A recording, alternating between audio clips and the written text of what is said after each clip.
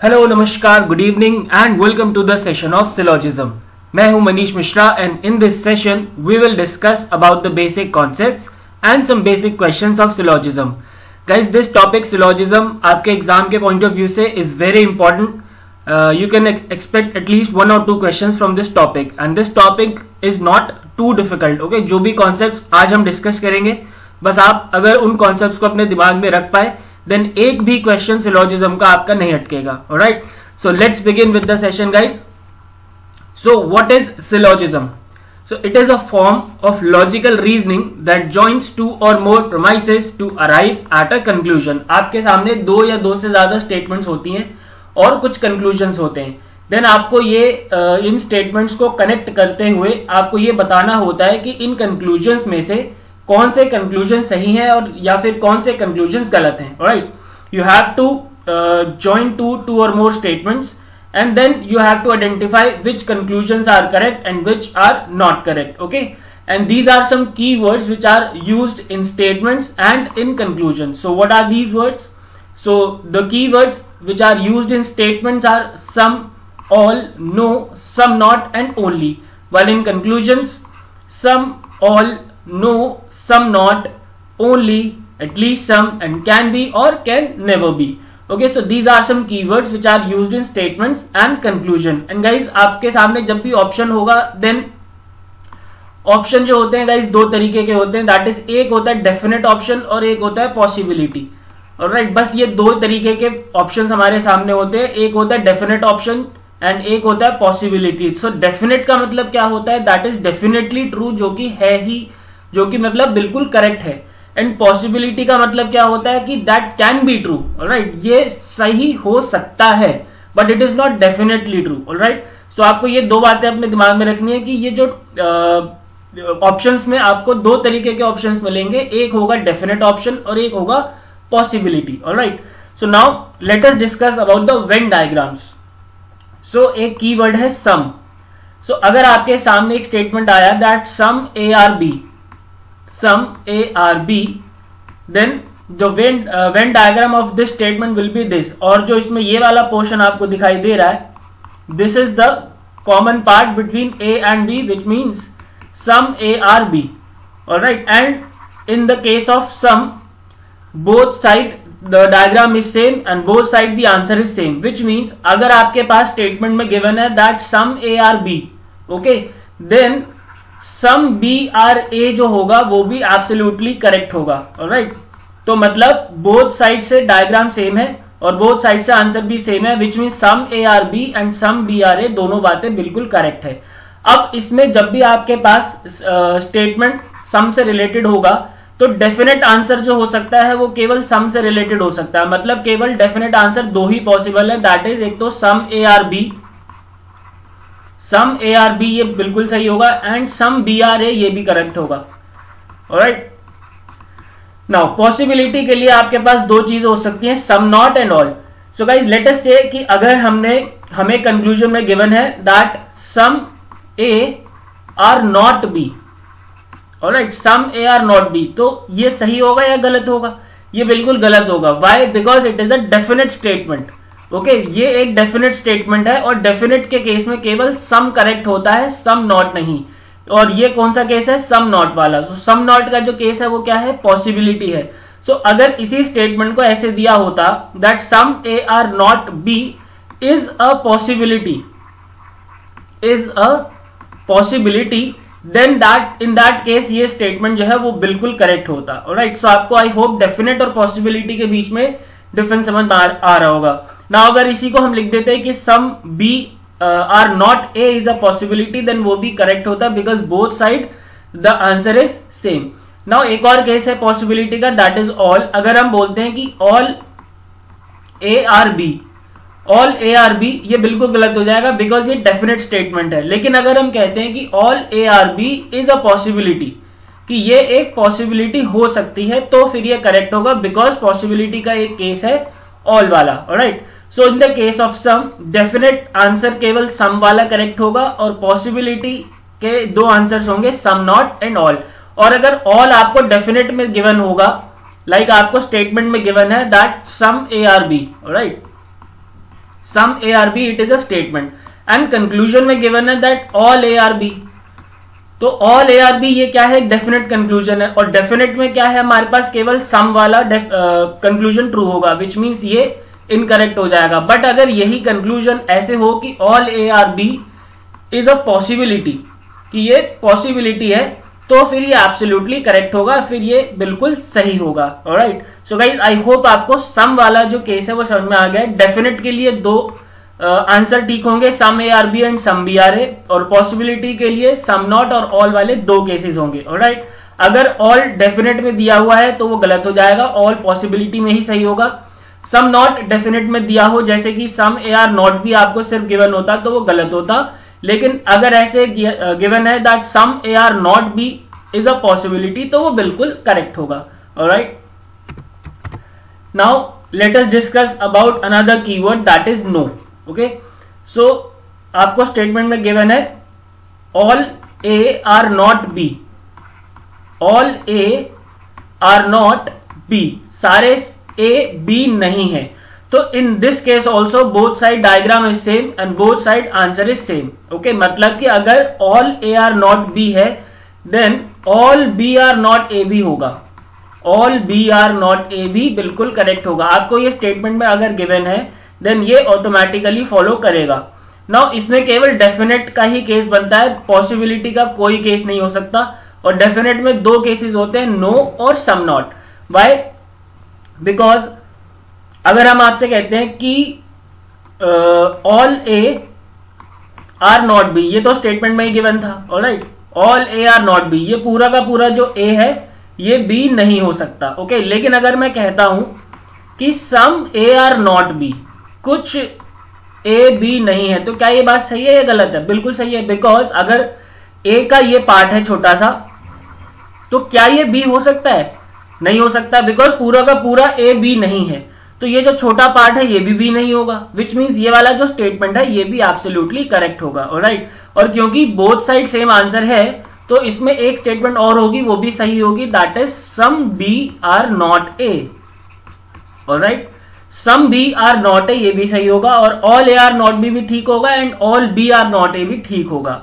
और इसमें कोई भी पॉसिबिलिटी का केस नहीं है अगर आपको क्वेश्चन में कंक्लूजन uh, में गिवन होगा that some A are not B is a possibility अगर some A are not B is a possibility is given then this conclusion will definitely be incorrect okay ये conclusion incorrect होगा. Right so guys I hope आपको no का concept भी समझ में आ गया है.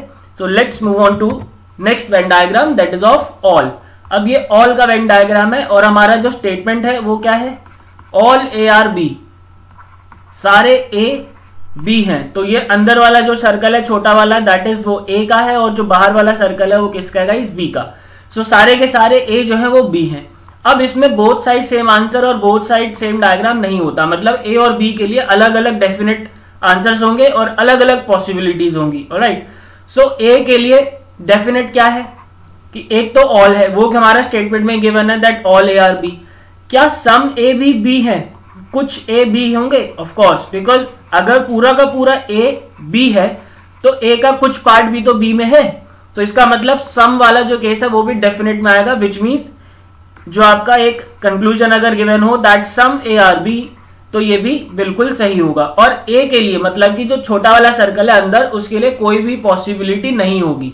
क्योंकि उसके बारे में हमारे पास कंप्लीट इंफॉर्मेशन है that all A are B okay so there is no possibility which is possible for A right now some A are B is absolutely correct and all A are B तो हमें statement में given था तो वो भी correct है। अब इस बी के लिए देखें तो बी के बारे में हमें कुछ पता है। मतलब कि जो बी का ये वाला पोर्शन है, जो ए के अंदर आया, वो ए का पार्ट है। मतलब हम ये कह सकते हैं कि सम बी आर ए कुछ बी ए है। ओके बिकॉज़ जो बी का थोड़ा सा पार्ट है, जो ए के साथ ओवरलैप कर रहा है वो ए के ए हो सकता है। तो कुछ बी जो है वो ए है। ओके तो डेफिनेट का केस बी के लिए केवल एक ही है दैट इज़ सम और पॉसिबिलिटी में दो आ सकते हैं सम नॉट और ऑल लाइक फॉर एग्ज़ाम्पल अगर आपके सामने कंक्लूजन में गिवन हो that some B are not A कुछ बी ए नहीं है तो ये बात गलत होगी। क्यों? बिकॉज़ ये जो स्टेटमेंट है, ये डेफिनेट है। लेकिन अगर ये आपको गिवन होता that some B are not A is a possibility ये एक पॉसिबिलिटी हो सकती है। तो ये फिर बिल्कुल करेक्ट होता। राइट सो बी के लिए दो पॉसिबिलिटीज बन सकती हैं सम नॉट एंड ऑल या फिर हम इसको एग्जांपल से समझे that all B are A is a possibility तो ये वाला जो कंक्लूजन होगा, ये भी एब्सोल्यूटली करेक्ट होगा। और राइट सो ए के लिए केवल एक डेफिनेट दो डेफिनेट आंसर्स हैं ऑल एंड सम और कोई पॉसिबिलिटी नहीं बनेगी। ए मतलब जो अंदर वाला सर्कल होगा राइट ए की जगह कुछ भी हो सकता है। लाइक फॉर एग्ज़ाम्पल आपके क्वेश्चन uh, का जो स्टेटमेंट है उसमें गिवन है that all laptops all laptops are mouse okay all laptops are mouse तो लैपटॉप अंदर है एंड माउस बाहर है। तो this will be laptop and this is mouse so जो अंदर वाला सर्कल है वो ये वाली चीज़ें फॉलो करेगा ए वाली और जो बाहर वाला सर्कल है माउस का वो ये बी वाली केसेस फॉलो करेगा। Okay and for A the definite conclusion are all and some and there is no possibility and for B definite conclusion is only some and possibility are two some not and all okay now wise another Venn diagram of some not इसको थोड़ा सा ध्यान से समझेंगे because ये एक तरफ़ से ही है राइट right? इसमें भी क्या है? Some A are not B ठीक है, जो हमारा स्टेटमेंट है, वो क्या गिवन है? Some A are not B A का कुछ पार्ट बी नहीं है तो ये ए पूरा है, और ये जो ब्लू वाला सर्कल है, ये ए का कुछ पार्ट है जो कि बी नहीं है और right now for A A के लिए क्या डेफिनेट होगा? केवल सम नॉट जो कि हमें स्टेटमेंट में गिवन है, और पॉसिबिलिटी क्या हो सकती है? नो no, और कैन बी और राइट नो का मतलब नो no के लिए अगर हम स्टेटमेंट लिखें दैट तो वो क्या होगा? No A is B no A is B क्या सही होगा? नहीं बिकॉज़ ये एक डेफिनेट है तो पॉसिबिलिटी के लिए अगर लिखेंगे तो ये बिल्कुल सही होगा। No A is B is a possibility अगर हम लिखते हैं तो करेक्ट होगा बिकॉज़ ए के लिए दो पॉसिबिलिटीज बनती है नो और कैन बी और कैन बी के लिए क्या लिखेंगे? All A can be B सारा का सारा ए बी हो सकता है। ठीक है तो ये भी जो है हमारी पॉसिबिलिटी होगी। Possibility it is a possibility और right so all A can be B अगर आपके सामने ये नहीं भी लिखा आता है इज़ अ पॉसिबिलिटी तो कैन बी का मतलब जो होता है गाइज़ वो पॉसिबिलिटी ही होता है। देखिए गाइज़ दो शब्द होते हैं। एक होता है कैन बी और एक होता है can never be can be और कैन नेवर बी जो कैन बी होता है, उसको हम पॉसिबिलिटी में काउंट करते हैं। और जो कैन नेवर भी होता है, उसको हम डेफिनेट कंक्लूजन में काउंट करते हैं ओके तो यहाँ पे जो हमारा स्टेटमेंट है that is all A can be वो एक पॉसिबिलिटी है तो ए के लिए वो बिल्कुल सही होगा और right now for B all definite conclusion are false सारे के सारे डेफिनेट कंक्लूजन फॉल्स होंगे, और जितनी भी पॉसिबिलिटीज होंगी, वो सारी की सारी ट्रू होंगी। मतलब अगर हम लिखते हैं that all B all B are A तो ये गलत होगा बिकॉज़ ये डेफिनेट कंक्लूजन है। लेकिन अगर हम इसमें जोड़ दें all B are A is a possibility तो ये बिल्कुल सही होगा ऑल राइट ना अगर हम लिख दें सम बी आर ए तो ये गलत होगा। Why because all definite are false for B and अगर हम लिखें that some B being A is a possibility तो फिर ये एब्सोल्युटली करेक्ट होगा गाइज़ सो आई होप आपको बी और ए के लिए अलग अलग जो हमारे डेफिनेट और पॉसिबल कंक्लूजन है वो आपको समझ में आ गए हैं। नाउ गाइस ये हमारे चार वेन डायग्राम थे। अब आपको कभी कभी एग्ज़ाम में आइदर और वाला भी क्वेश्चन आ सकता है। तो आइदर और वाले में कुछ भी अलग नहीं करना। वेन डायग्राम बिल्कुल सेम है। ऐसे ही पॉसिबिलिटी आइडेंटिफाई करनी है। ऐसे ही डेफिनेट कंक्लूजन आइडेंटिफाई करने हैं। देन हमें उसी बिल्कुल उसी तरीके से जो हमारे कंक्लूजन है, उसको ट्रू या फॉल्स चेक करना है। देन फिर आइदर और केस के लिए क्या करेंगे? तीन बातों को हमें चेक करना होता है that is one conclusion must be positive and other must be negative okay एक कंक्लूजन पॉजिटिव होना चाहिए और दूसरा कंक्लूजन नेगेटिव होना चाहिए। दोनों एलिमेंट्स कॉमन होने चाहिए।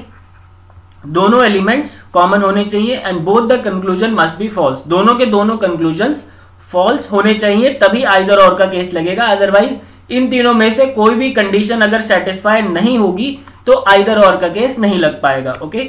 ये आइदर और वाला जो केस है, ये आपको गाइज़ बेटर समझ में आएगा जब हम उसके क्वेश्चंस करेंगे।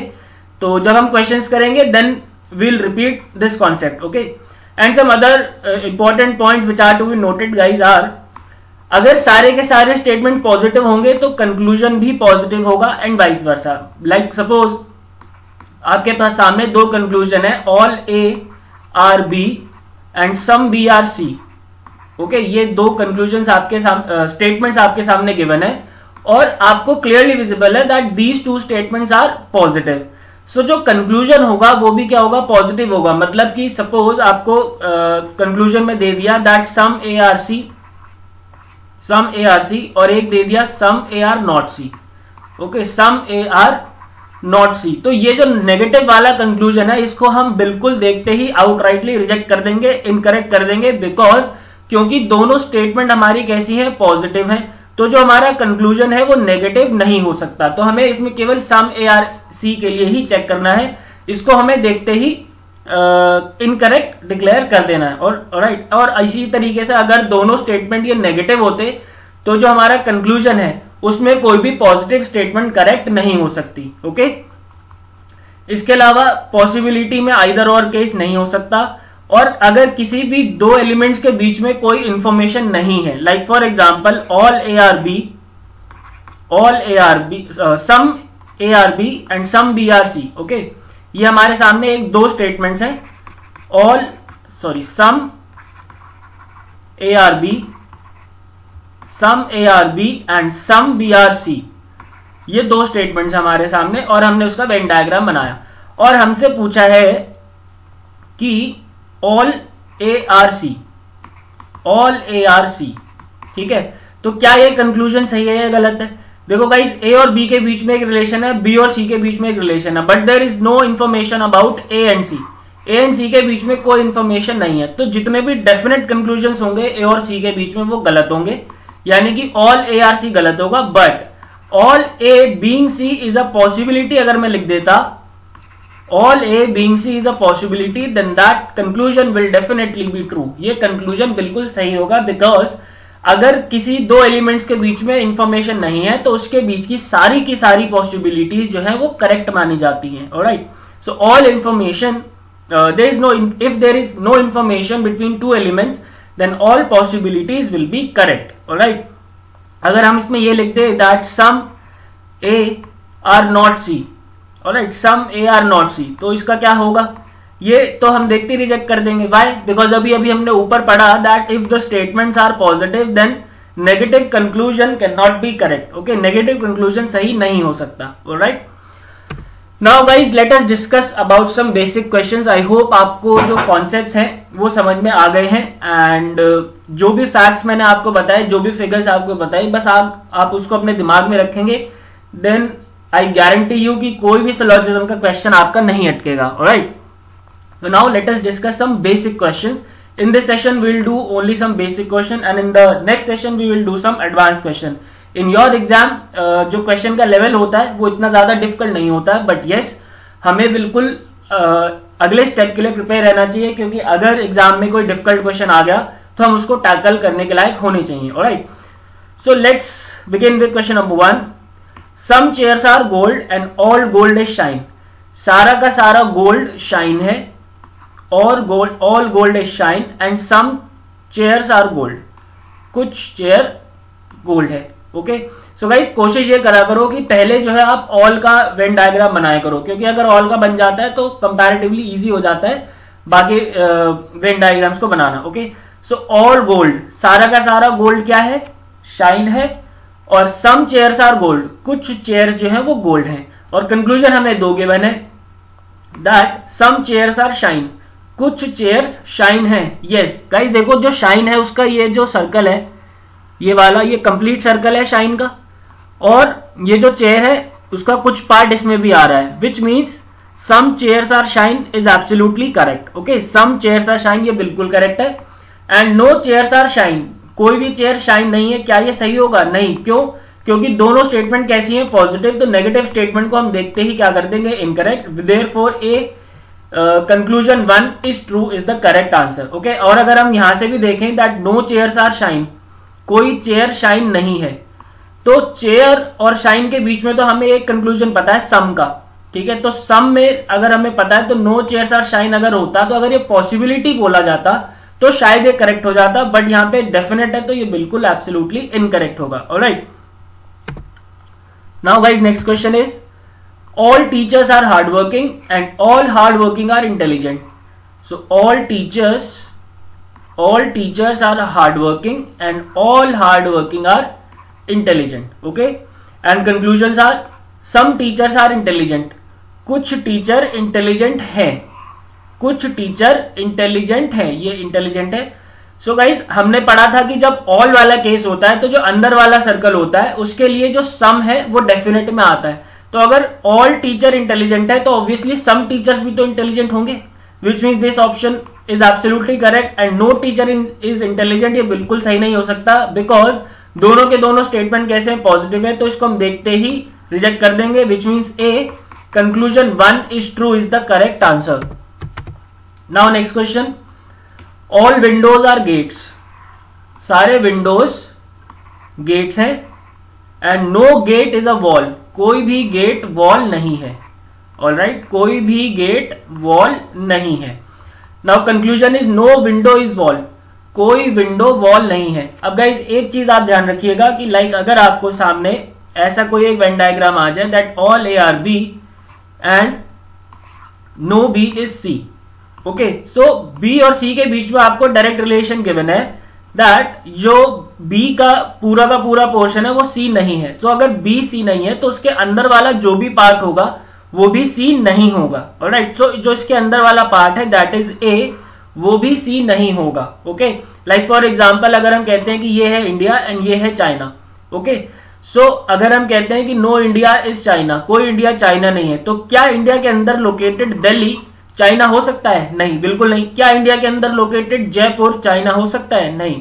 बिल्कुल उसी तरीके से अगर बी सी नहीं है तो उसके अंदर का कोई भी पार्ट दैट इज़ ए वो सी नहीं हो सकता। Okay so no window is wall कोई विंडो वॉल नहीं है ये बिल्कुल करेक्ट है। And some walls are windows कुछ windows some walls are windows कुछ वॉल्स विंडोज़ हैं। सो so, नहीं ये बिल्कुल भी पॉसिबल नहीं है बिकॉज़ इन दोनों के बीच में कोई डायरेक्ट रिलेशन नहीं गिवन है। सो देर फॉर इसमें भी ऑप्शन नंबर ए ही करेक्ट है.